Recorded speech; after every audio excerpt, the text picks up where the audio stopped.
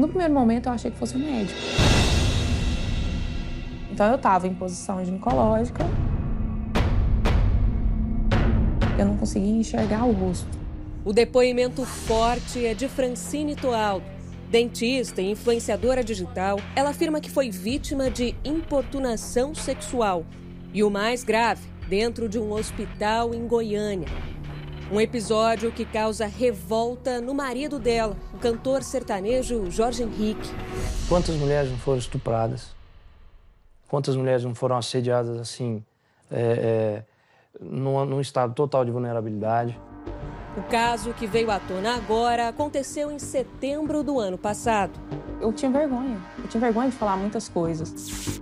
Com dores muito fortes depois de uma intoxicação alimentar, ela precisou de atendimento de urgência e foi para o hospital, acompanhada da sogra, mãe de George. O marido faz sucesso com o parceiro Rodrigo. A dupla já gravou com nomes como Bruno e Marrone. É aqui você mais cumpre, é aqui mais me quer, é média dessas três pessoas que se anda. E Marília Mendonça.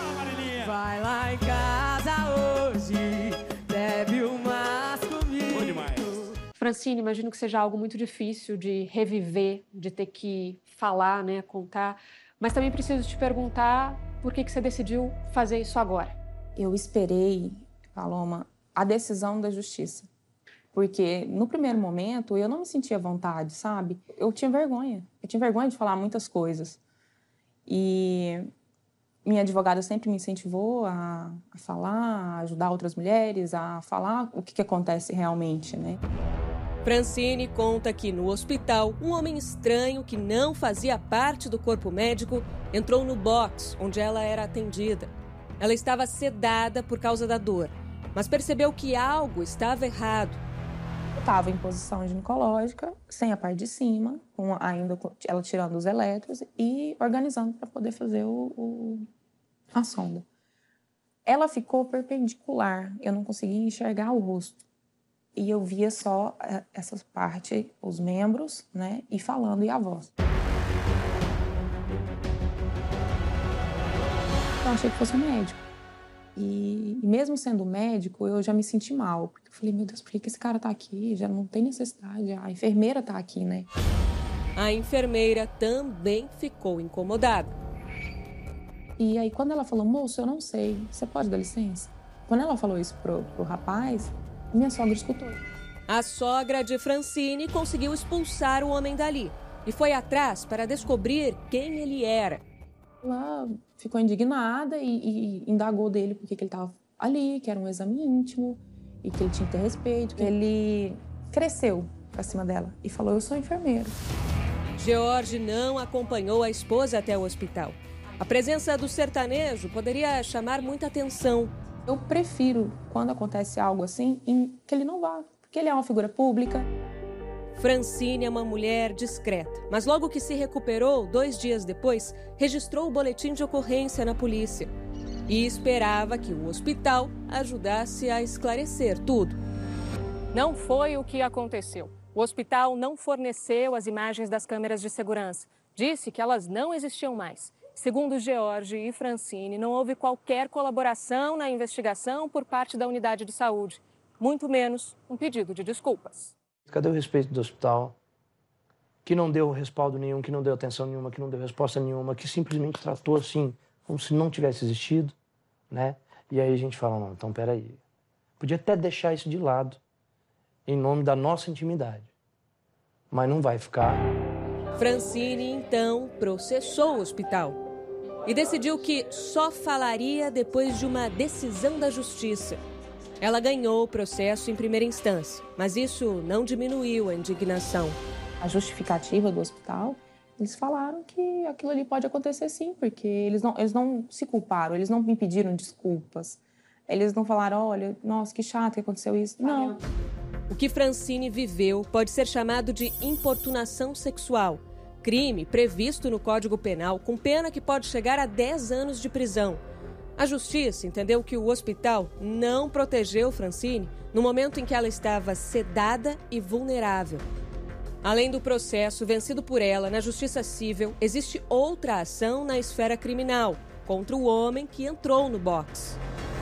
E agora o trabalho da, da Polícia Judiciária é esclarecer se esse indivíduo é, somente agiu com absoluta falta de bom senso, né? ou se efetivamente o desejo dele ao, ao, ao, contemplar as partes íntimas daquela paciente que ali estava em situação de vulnerabilidade, era satisfazer os seus desejos sexuais mais íntimos. Márcio Linhares é presidente da cooperativa da qual o suposto enfermeiro fazia parte quando tudo aconteceu. E se lembra da versão contada por ele. Ele entrou lá como a parte da equipe autorizado. autorizado e faz parte do protocolo para a remoção do paciente pegar o quadro clínico. E em determinada hora, parece que bateu, pelo que nos falou, bateu na porta, abriu, deparou com a cena, pediu desculpa e se retirou. Algo muito rápido na versão dele. Muito rápido. Entre os nossos contratantes, entre os, os próprios cooperados, a gente nunca teve nenhum tipo de problema disciplinar, principalmente nesse sentido, que eu sei que ele é casado, é uma pessoa séria. O suspeito, que afirma ser enfermeiro, tem uma empresa de transporte médico. Nós fomos até lá. Ele está trabalhando? Você sabe como que eu posso encontrar ele? Falamos com ele por telefone, mas o homem se recusou a gravar entrevista e disse que o advogado falaria por ele.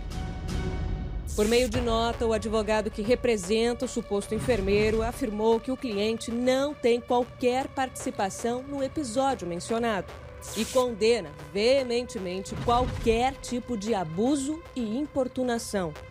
Os representantes do hospital também não quiseram gravar entrevista enviaram uma nota dizendo que prestaram toda a assistência, que o socorrista não integra a equipe do hospital e que sua ação foi devidamente apurada e que as providências necessárias foram tomadas.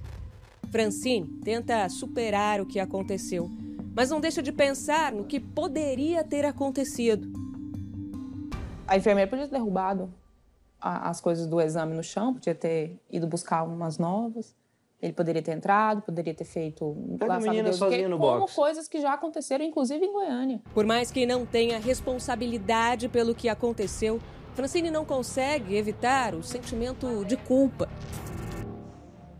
Eu sei que, que só vai entender quem de fato já sofreu algum tipo de violência, porque a gente se sente culpada e as pessoas não entendem. E não é o culpada pelo ato, é culpada pelas opções que a gente optou para poder ter chegar colocado naquela situação. para chegar até lá, sabe? Isso tem a ver com a construção emocional que a pessoa carrega, de que ela teria a obrigação de estar tá controlando tudo, ela enxerga tudo sob essa ótica. Mas é óbvio, evidente, e até racionalmente ela sabe que ela não poderia ter evitado nada. Francine conseguiu reunir forças para denunciar o que passou e encorajar outras mulheres, vítimas como ela, e é isso que eu acho importante, as pessoas terem uma rede de apoio, sabe? Que te incentive, que te põe para cima, que falem, olha, você não é culpada, está errado demais, vamos lutar pelos seus direitos, bola para frente. É, quem for te criticar, a maioria vai te apoiar. Se, se foque nisso.